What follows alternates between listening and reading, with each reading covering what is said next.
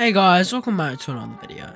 Today, I want to talk about why I personally have a lot of faith in Tales of Tanorio and how not only will it succeed, but I believe the game is going to be an incredible experience with devs who listen and it's just overall going to be a really, really nice ride. So, let's get right into the video. So, the first thing I would like to talk about is the time.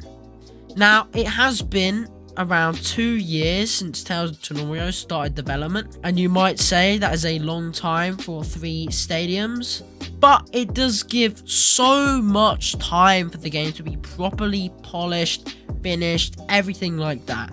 And you've probably seen some examples of the game, how it's changed from going from good to great and if that's the quality we are getting on release then it's just going to be really nice to see and I think it will be worth it in the end. The next thing I would like to go over is the developers.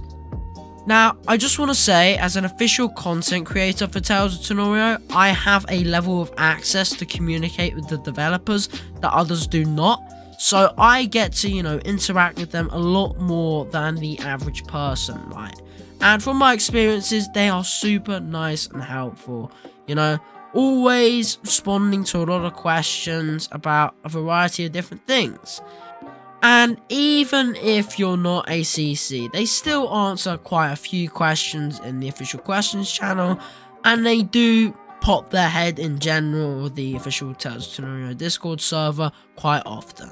As well as the fact Lucky HD is on the development team, and if you know anything about Lucky HD, he is vocal about a lot of problems that go on. So I think there will be a much better, like, you know, just response in getting some of these things fixed if they do happen to occur in Tales of Tanorio, or they may not even happen at all. In fact, the devs overall are just really, really good at, like, fixing a lot of. Like, for example, quite a lot of people didn't like some animations that were in the trailer. But these got to the devs and they were fixed up. So, we have quite a lot of faith in issues being resolved, which is really, really good to see. The final thing I would like to talk about are past examples. Tales of Tanorio has had plenty of time to learn from the mistakes and blunders of other creature capturing games on Roblox.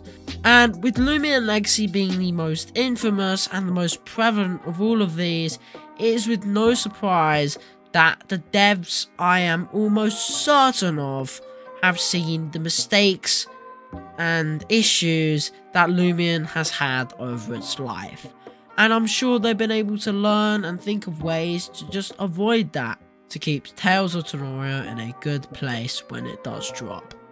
Now, the reason why I did make this video is because, especially from Loomian Legacy, a lot of people, including myself, are going to have trust issues with updates, communication, and things like that because of how patchy it was with Loomian Legacy.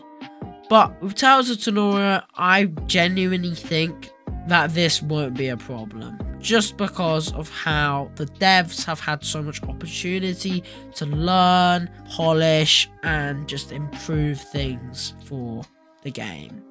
So that's about it for this video. If you guys did find it interesting, please make sure to like and subscribe as it'd be greatly appreciated. And Tales of Tanorio is getting so close just 11 more days from when I'm making this video. So if you guys are excited, you know, comment that below. Anyway, I will see you in another video. Goodbye.